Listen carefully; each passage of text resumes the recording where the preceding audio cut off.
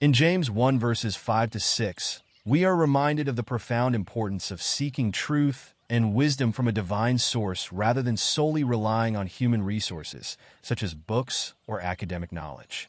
The verses suggest that when we are in need of wisdom, we should turn to God in prayer, recognizing Him as the ultimate source of understanding and enlightenment.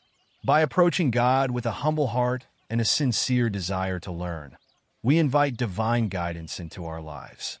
Prayer becomes a direct line of communication with the Creator, allowing us to express our uncertainties and seek clarity on complex matters.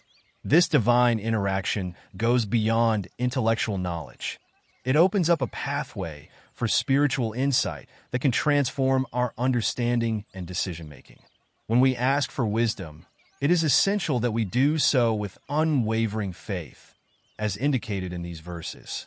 This means that we must truly believe in God's ability to provide us with the answers we seek, without doubting his generosity or willingness to impart wisdom.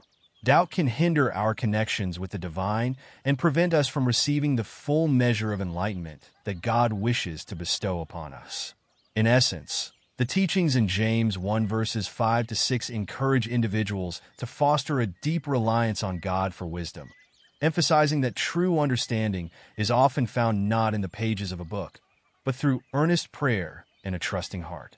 This spiritual approach can lead to deeper insights and a more profound grasp of truth that transcends mere academic learning.